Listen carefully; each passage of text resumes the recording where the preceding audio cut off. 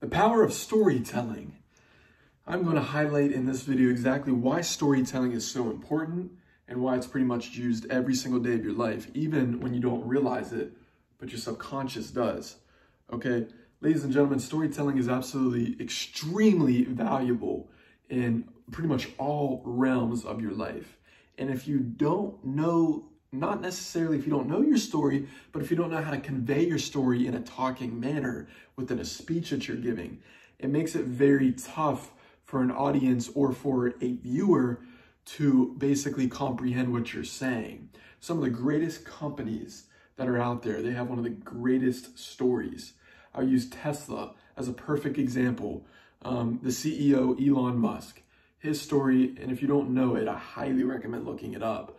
His story is absolutely incredible with where he comes over from South Africa. And I just so happen to read his biography, so I know the ins and outs of his story, and it makes me appreciate him more so as a person and as a human being, not just a CEO, right? That's why I got a lot of respect for somebody like him. Somebody might say, well, Nate, um, have you taken a look at Planet Fitness's story or CEO? It's like, I haven't really because I haven't had a reason to look into that. But even if they do, um, of course, convey a story to me, it has to be compelling. Your story has to be compelling, right? Uh, we own a marketing company, and with us owning a marketing company, people want to know our story because everybody and their brother and sister owns a marketing company. It's like a, a, literally every single block, pretty much everybody has a marketing company. So what makes you, what makes your restaurant different?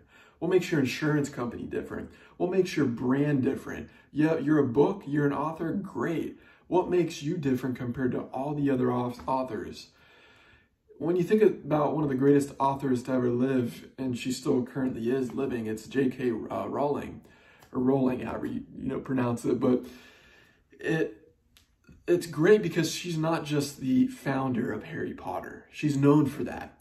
But when people really get a chance to know her story behind how she created that, you appreciate her so much more, right? So again, I don't want to paint uh, over all these examples and things I want to get down to the juicy part on crafting your story.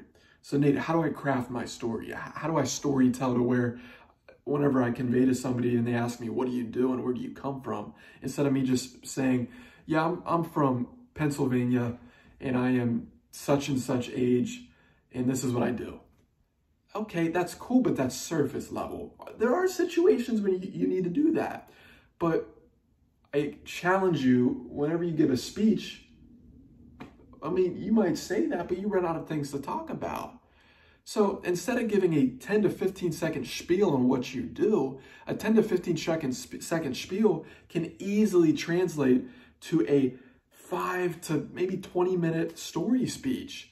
And then when you look at it, it makes you more comfortable because telling your story is one of the greatest assets that you have for who you are because nobody else can tell your story like you can because you're the only person that has lived through your life and you're the only person that has lived through uh, the lens of, of Nate, right? I, have lived through Nate the Great, right? I, Nate Peterman. My real name's Nathan, for those of you who don't know. Nathan Peterman. I've lived through things in my life and I know exactly how to talk about that, right? I know how to talk about whenever my parents got divorced and how I felt about that, right? I know how to talk about sports growing up because I played soccer for 13 years, forward and being a goalkeeper.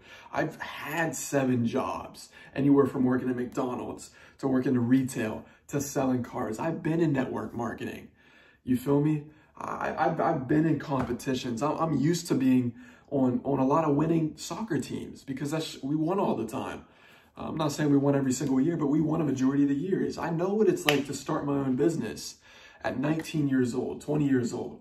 I know what it's like to travel to China, to travel to Europe, Germany, Sweden, you know, go to Russia. I know what it's like to do this. I know what it's like to interview some really high caliber people like Michael Jackson's nephew, TJ Jackson, some of the greatest dentists in the world that operate on extremely well-known celebrities like Post Malone, Shaq, Odell Beckham Jr., the baby. You know, I, I'm connected to these people, so I'm able to talk about that and implement that within my story. But most importantly, the thing that you have to understand or your struggles. People don't just care about what you, they don't just care about what it is that you've accomplished and what you've done. Oh, that's cool you have a PhD. That's cool you have a business that produces over seven figures a year, seven figures a month. But that's not relatable. The relatability is where you come from. Most importantly, if you're an immigrant and you've, you know, live in the United States currently, maybe you don't, the struggle that you've been through. My parents are divorced. There's other people out there that can relate to that now and they feel more comfort with you as a speaker. Um, the things that you've been through, being homeless, right? Um, whatever it is that you're able to relate to, walking the streets trying to go door knocking to get clients. These are the things that can intertwine with your story. So what do you want me, what do you want to do? What do I want you to do, I want you to get a, a piece of paper, get out a piece of paper and simply write out moments in your life that you've been able to accomplish. Highlights, highlight moments is what you can title it. And write down some highlights. Write down about 10 highlights. And then on the next column, I want you to write down 10 moments that were defining moments. Parents got divorced, got picked on a bit in school, right? And these are coming from me. Um, was homeless for a day, right? Yeah, it was only a day, but I'm still homeless. Didn't have any money in my account to eat food so these are the things that you can, so some, of you guys, um, my father wasn't in my life, right? This isn't me, this is just examples. Father wasn't in my life. I was homeless. Um, one, one of my favorite speakers, Eric Thomas, he, he always leverages that right when he starts speaking. My father wasn't in, in my life. I was living in abandoned buildings, eating out of trash cans. And people, when they hear that, it's like, holy smokes, eating out of trash cans? What? And it's just, it's a whole new level of respect. So find out the accomplishments and everything you've done, but most importantly, find out the things that you might not, and, some of these things that you are going to be on this other side for defining moments, they might be things that you're not used to talking about. Pornography addiction, drug addiction, okay? Maybe you've bullied other people. They are going to be some of your most strongest vulnerabilities. But when you put your strongest vulnerabilities out there, they have the greatest impact because it's one of the most difficult things for people to talk about. Being vulnerable isn't easy. That's a whole nother video I can do this on. But again, if you want to craft your story and become absolutely just a great storyteller, you got to find out your key moments and your defining moments in your life. And when you do that, record yourself, recite it, recite it, recite it, recite it.